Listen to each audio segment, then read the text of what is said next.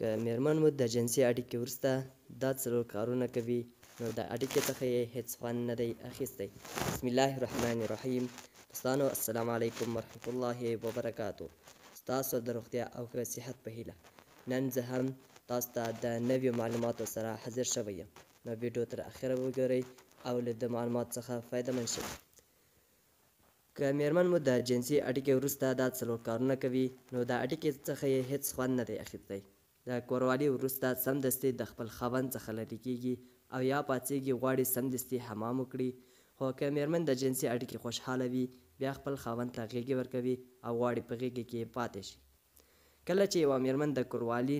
نه کوروالي وروسته خوشحاله نه وي، نو د اډیکې په هکله وروسته هېڅ خبرې نه کوي. ډېرې مېرمنې چې د کوروالي څخه رښتیا خوند اخلي، تل خپل خاوند ته د تېرو اډیکو په هکله خبرې او خپل ښه خاطرات وربیانوي. ډېر وخت د کوروالي څخه خوند اخیستونکې مېرمنې ځان د کوروالي څخه غړوي.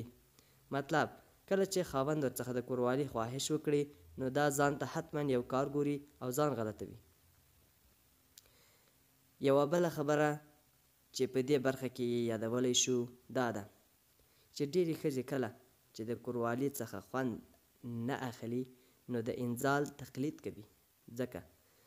ځینې نارینه هڅه کوي چې خپلې مېرمنې وویني چې انزال ته ورسېدې نو دا ډول ښځې بیا هسې تقلید کوي چې ګواکې ورسېدې او زر ځان د خپل خاوند څخه خلاصوي السلام علیکم ورحمت الله وبرکاته دوستانو د نورو ویډو همداسې معلوماتو لپاره زمونږ چاینل د سر سبسکرایب کړئ مننه.